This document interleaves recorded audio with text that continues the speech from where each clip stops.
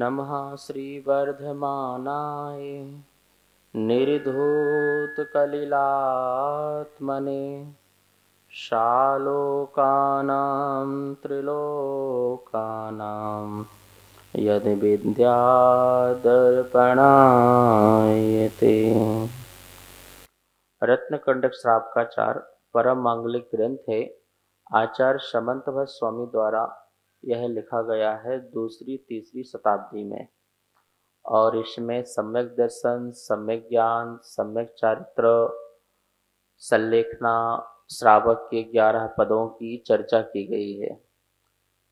पहले अधिकार में सम्यक दर्शन और उसके महत्व को बताया जा रहा था। अभी हम लोगों ने इकतालीस नंबर का श्लोक देखा था, जिसमें कहा गया था कि सम्यक दर्शन के प्रभाव से जीव जो है, धर्म चक्र को धारण करने वाला, राजेंद्र चक्र और नरेंद्र चक्र ऐसे चक्रों को धारण करने वाला जीव बनता है। मतलब कि वो इंद्रों में भी श्रेष्ठ पदों को धारण करता है, मनुष्यों में भी श्रेष्ठ मनुष्य चक्रवर्ती आदि पद को भी प्राप्त कर सकता है और वह धर्म में तीर्थंकर पद को भी प्राप्त करता है, वो सम्यक दर्शन का प्रभाव होता है। सम्यक दर्शन का मतलब यही है कि वस्तु स्वरूप का निर्णय करना। वस्तु का तो निर्णय है ही है, पर हमारी मान्यता में निर्णय नहीं है। हमारी मान्यता में उसके प्रति जो है गलत धारणाएँ बैठी हुई हैं, उसको ठीक करना, इसका नाम है सम्यक दर्शन। सच्चे परमात्मा को सच्चे परमात्मा के रूप में मानना, सच्चे गुरु को सच्चे गुरु के रूप में मानना, सच्चे शास्त्र को शास्त्र के रूप में मानना। जो भी जगत में जो जैसा पदार्थ है, उस पदार्थ को उसी स्वरूप मानना, ये सम्यक दर्शन है। जैसे जीव चेतन है तो उसको चेतन ही स्वीकार करना, जड़ अचेतन है तो उसको अचेतन मानना। तो ऐसा भेद रखना। संसार को किसने बनाया है? तो हमारी मान्यता है, किसी भगवान ने बनाया, किसी इसने बनाया। तो ये मान्यता भी गलत है। छह द्रव्यों के समूह को संसार कहते हैं। पुद्गल, धर्म, अधर्म, आकाश, काल, जीव, ये छह द्रव्य होते हैं और इन छह द्रव्यों के समूह को संसार कहते हैं। और ये छह द्रव्य कैसे हैं? अनादि से हैं और अनंत काल तक रहेंगे। किसी ने बनाया नहीं और कोई ने किसी, इसको मिटाया नहीं। मेरी आत्मा को किसने बनाया? आपकी आत्मा को किसने बनाया? किसी ने बनाया हो तो बताओ। किसी की कृपा से बंदी हो, कभी किसी की दया से बन गई हो, किसी के क्रोध से मिट जाए, नष्ट हो जाए, ऐसा भी नहीं है। अहेतुक है, अकारण है। कोई कारण से पैदा नहीं हुई है, कोई हेतु से पैदा नहीं हुई है। जो चीज़ किसी कारण से पैदा होती है तो किसी कारण से नष्ट भी हो जाती है, क्षय भी हो जाती है। ठीक है? आप किसी कारण से बनी तो किसी कारण से नष्ट भी हो जाएगी। किसी निमित्त से पैदा हुई तो किसी निमित्त से समाप्त भी हो जाएगी। लेकिन आत्मा किसी निमित्त से पैदा नहीं हुई, इसलिए किसी निमित्त से मिटेगी भी नहीं। ऐसे ही परमाणु, एक भी परमाणु किसी निमित्त से पैदा नहीं हुआ, बना नहीं। तो किसी निमित्त से मिटेगा भी नहीं। तो संसार में जो भी द्रव्य हैं, जो भी पदार्थ हैं, वो किसी कारण से पैदा नहीं हुए हैं तो किसी कारण से नष्ट भी नहीं होंगे। इसका मतलब है, ये शाश्वत हैं, अनादि हैं, अनंत हैं। संसार जो है, किसी ने बनाया नहीं है। ना ही कोई इसको मिटा सकता है, ना ही इसकी कोई रक्षा करने वाला है। ये स्वमेव ही ऑटोमेटिक संचालित हैं। हाँ उसमें कुछ आप निमित्त मिल सकते हैं। क्या मिल सकते हैं? जैसे मैं आपको पढ़ा रहा हूँ तो आपको पढ़ाने में निमित्त हूँ, पर मैं आपको ज्ञान नहीं दे सकता। ज्ञान की शक्ति आपके पास है, समझने की शक्ति आपके पास है। आप अपनी शक्ति से समझोगे, अपने ही ज्ञान से समझोगे। मैं तो आपको बता सकता हूँ बस कि भैया ऐसा है, लेकिन समझना आपको है। तो मैं निमित्त मात्र रहा। जानने की जो शक्ति है, उपादान शक्ति है, वो आपकी शक्ति है। जैसे कि एक टीचर जो है, शिक्षक जो है, बच्चों को स्कूल में पढ़ाता है। तो किसी के सौ नंबर आते हैं, किसी के अस्सी आते हैं, सत्तर आते हैं, कोई फेल भी हो जाता है। तो टीचर ने तो सबको एक साथ पढ़ाया। निमित्त तो एक सा था पढ़ाने का, लेकिन सबकी अपनी योग्यता समझने की शक्ति, ज्ञान की शक्ति सबकी भिन्न भिन्न थी अलग अलग थी। तो जिसके कारण उनका रिज़ल्ट भी क्या हुआ? अलग अलग आया। यदि गुरु ज्ञान दे सकते थे तो सबको ज्ञान एक सा मिलना चाहिए था। सबको ही नॉलेज एक सा मिलना चाहिए था। तो इसका मतलब है, गुरु सबको एक सा ज्ञान दे दे सकते। सब अपने अपने योग्यता से स्किल से समझते हैं। ठीक है ना? तो मैं ये कहूँ कि देखो कि मैंने तुम्हें पढ़ाया, मैंने तुम्हें लिखाया, मैंने तुम्हें ये किया, मैंने तुम्हें ज्ञान दिया तो ये तो व्यर्थ की बातें हो गई ना? हम्म? जो बच्चा पास हुआ है, वो टीचर के गुणगान गाएगा कि नहीं गाएगा? हम्म? महाराज जी, आपको हम क्या बताएँ? हमारे जो मास्टर साहब है ना इतना बढ़िया पढ़ाते हैं, इतना बढ़िया लिखाते हैं। गजब का। और आज जो भी मैं हूँ, उनकी ही कृपा से हूँ। उनने नहीं पढ़ाया होता ढंग से तो मैं आज बिल्कुल टॉपर नहीं बनता। तो प्रशंसा पुराण, वो बच्चा जो पास हुआ है, वो टीचर का प्रशंसा पुराण लिखेगा। अच्छा जो फेल हुआ वो क्या करेगा? निंदा पुराण। किसका? है? किसका लिखेगा? उसी का। महाराज, हमने तो ऐसे मास्टर साहब देखे नहीं। एक नंबर का बेकूफ एक नंबर का गधा। कुछ पढ़ाना ही नहीं आता। टाइम पास करने ही आता वो। उसे कुछ पढ़ाना नहीं आता था। वरना मैं तो वैसे ही पास हो जाता। उन्हें कुछ नहीं आता। तो बताओ, उनकी निंदा कर रहा है। पास करने वाला उनकी प्रशंसा कर रहा है। जो फेल हो गया है, उसकी निंदा अब टीचर की क्या गलती बताओ? टीचर तो दोनों के लिए निमित्त था। दोनों के लिए निमित्त था। अभी हम प्रवचन कर रहे हैं, हम आपके लिए भी निमित्त हैं। ऐसा हो सकता है किसी के मन में आ जाए कि नहीं, प्रवचनों के माध्यम से मुझे सम्मत ग्रहण करना चाहिए। मुझे भी मंदिर जाने का नियम लेना चाहिए। मुझे भी जो है स्वाध्याय करना चाहिए, अभिषेक करना चाहिए। और एक कन बन रहा होगा, नहीं, मैं तो कुछ नहीं करूँगा। मुझे समझ में आ गया, पर कुछ नहीं करूँगा। तो मैं ज़बरदस्ती कोई चीज़ का परिणमन नहीं करा सकता हूँ, इस बात को हमें ध्यान में रखना है। इसलिए हम अपना अहंकार क्यों करेंगे? ये ये चीज़ समझाना चाह रहे हैं कि मैं जगत नहीं बना सकता, जगत का संचालन नहीं कर सकता, मैं परिवार का संचालन नहीं कर सकता। यदि ये भाव आते हैं तो ये मेरे अहंकार के भाव आते हैं, ये मेरे मिथ्या भाव हैं। और इस भाव को धारण करने वाला मिथ्या दृष्टि होता है, उसका अहंकार में ब्रह्म ही घूमता रहता है कि मैं कुछ कर सकता हूँ, मैं कुछ कर सकता हूँ, मैंने बहुत कुछ किया, मैंने ऐसा किया, मैंने वैसा किया। भाई, तूने कुछ नहीं किया। तो निमित्त मात्र था, तेरी उस काम में उपस्थिति मात्र थी। क्या थी? उपस्थिति। बोलिए, निमित्त के बिना कुछ होता नहीं है। निमित्त कुछ करता नहीं है। ठीक है ना?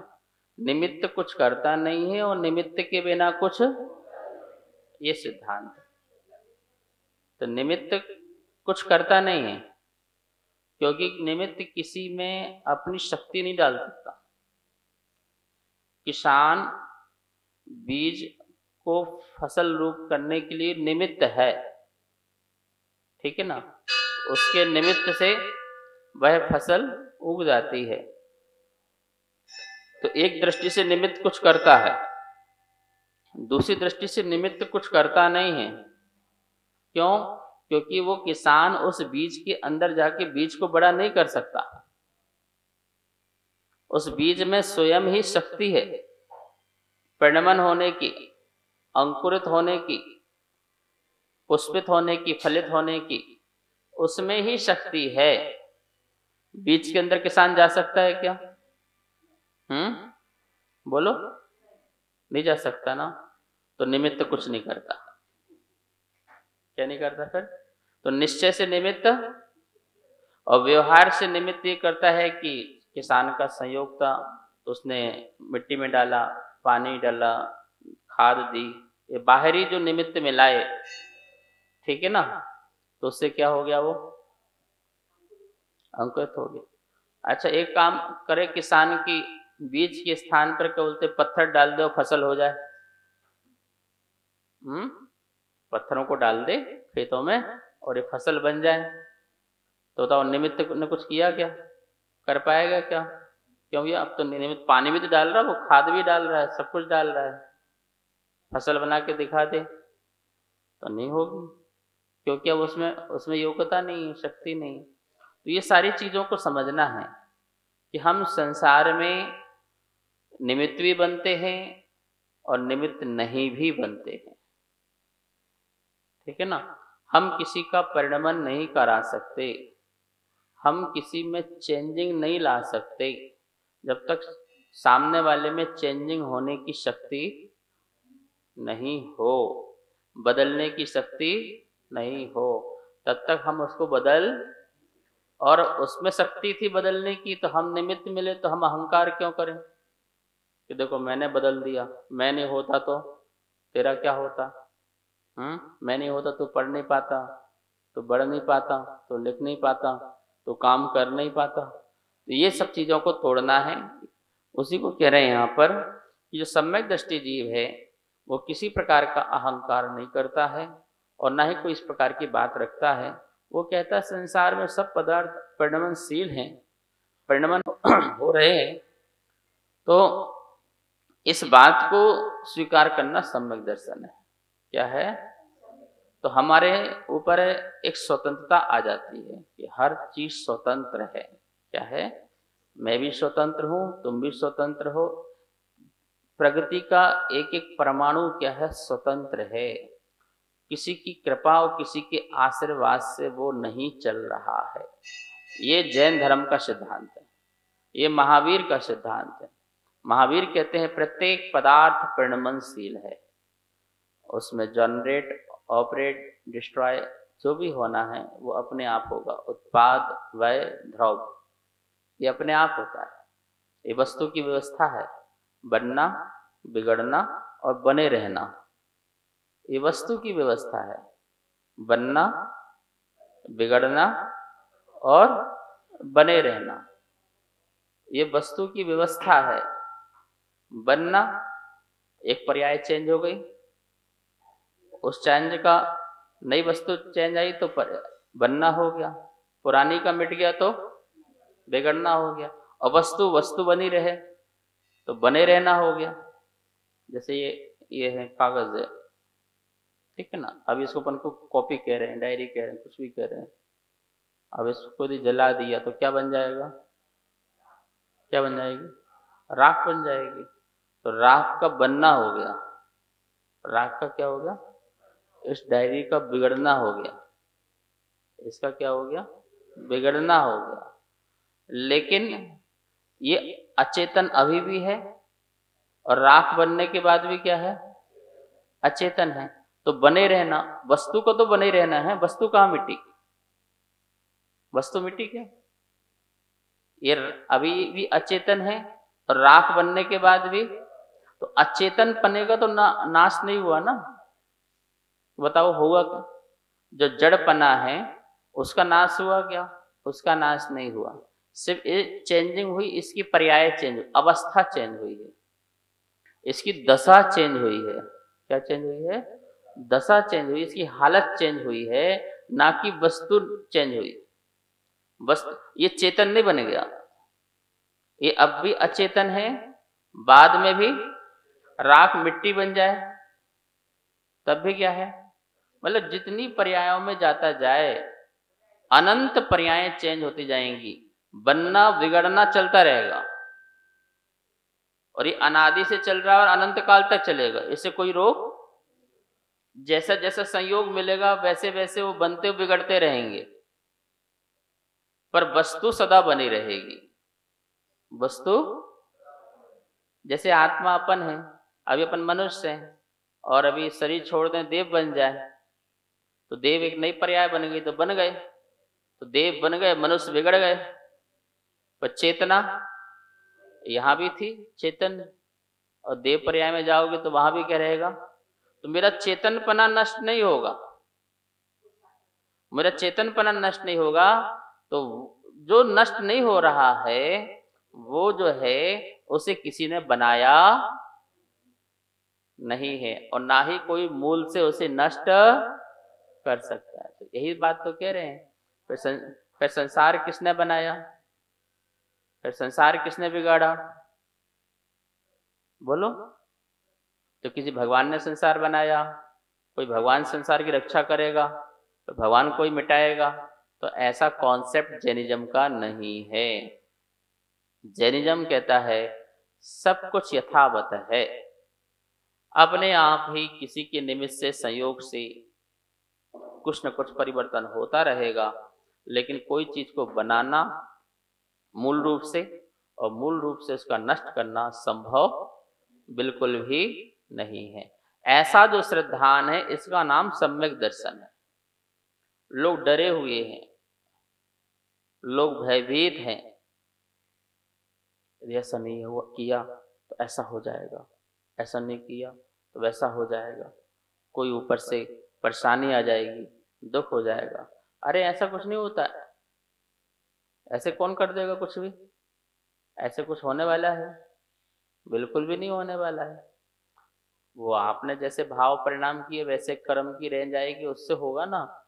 लेकिन और कोई कुछ तुम्हारा कुछ करेगा ऐसा नहीं। तो आप निर्भय हो जाओ। कैसे हो जाओ? मंदिर आ रहे हो, भय से आ रहे हो कि निर्भय से आ रहे हो? बोलो। अरे नहीं, मंदिर जाएँगे तो काम बिगड़ जाएगा। आज पूजा नहीं करेंगे तो काम बिगड़ जाएगा। आज अपन ने अगरबत्ती नहीं लगाई, पूजा पाठ नहीं किया, अभिषेक नहीं किया तो आज काम बिगड़, ये मिथ्या दृष्टि हो जाओगे। ये मिथ्या बुद्धि हो जाएगी। ठीक है ना? काम बिगड़ेगा तो मेरे पुरुषार्थ नहीं करने से अथवा मेरे भाग्य से। मैंने जैसा पीछे पीछे किया होगा, उसके अनुसार होगा। लेकिन भगवान मेरा काम ना बनाएँगे, ना बिगाड़ेंगे। फिर हम भगवान के पास क्यों आए फिर? फिर हम गुरु के पास क्यों आए? हम इसलिए थोड़ी आते। हम तो अपनी भटकन समाप्त करने आते हैं। हे प्रभु, जैसे आपने अपनी भटकन समाप्त की है शांति के मार्ग में चले हो, बीतराग मार्ग में चले हो, ऐसे मैं भी शांति के मार्ग में चलूँ। आपको देख के मैं भी ध्यान करूँ। आपको देख के मैं भी राग द्वेष समाप्त करूँ। आपको देख के मैं भी शांति मेरे अंदर आ जाए।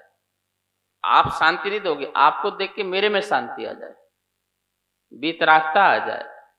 इसलिए हे प्रभु, मैंने आपको यहाँ स्थापित किया है अपने आत्म कल्याण के लिए। भौतिक पदार्थों को पाने के लिए नहीं, वो तो पुरुषार्थ का काम है। वो तो मेरे भावों का काम है। मैं अच्छा भाव बनाऊँगा, मुझे अच्छा मिलेगा। मैं बुरे भाव बनाऊँगा, मुझे संसार बुरा मिलेगा। अच्छे संस्कार, अच्छे संसार का जन्म देते हैं।